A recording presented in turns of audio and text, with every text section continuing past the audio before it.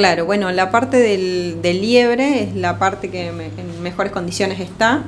Entiendo que las habilitaciones, después de, no haber funcionado por varios años, hay que eh, retomarlas, darlas de altas nuevamente. Eh, y por eso creemos que todavía hay posibilidades de que suceda ahí la faena de liebre, siendo que hay que hacer inversiones, por supuesto.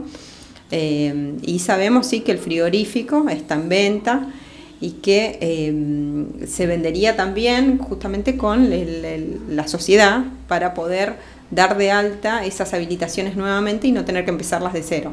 Claro, y aquí lo que se necesitaría es un interesado, en principio un privado que quiere invertir, si es que le interesa el negocio de la liebre, venir y, y hacer este bueno el proceso aquí y, de aquí también sacar las deportaciones ¿no? así es así es un privado que quiere invertir en el frigorífico que sabemos que es un edificio muy grande que no solo es para faena de liebre entonces que tiene que hacer inversiones porque como les decía la mejor eh, la mejor parte del frigorífico sí está vinculada con la faena de liebre y la exportación de la liebre a Europa pero eh, toda la otra parte del frigorífico sí requiere de inversiones muy importantes. ¿No hay nadie interesado aquí en esta área de producción? ¿No hizo, no hizo alguien alguna consulta a ver cómo estaba el frigorífico? Sí, sí, incluso ah. sí, sí este, hay interesados y este, estamos expectantes a que eso suceda y la intención es que a partir del año que viene la liebre quede acá.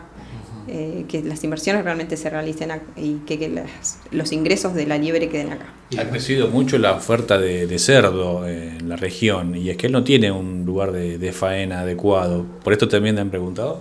Sí, totalmente y acompañamos también el pedido de la localidad de Trevelin de los productores, que son los productores de la zona, de la región, y por supuesto que estamos eh, acompañando para que eso se realice y para que efectivamente se habilite un lugar de faena para los productores de toda la región de la asociación porcina y que se bajen esos fondos para la creación de esa sala. ¿El municipio, esta área, por ahí tiene algún tipo de beneficio, digo, para alguien que quiere reiniciar este negocio del frigorífico y por ahí algún incentivo? Eh, no, no municipalmente, pero sí estamos abiertos a poder charlar cualquier situación y cualquier posible inversión para poder acompañarlos y para poder facilitárselos.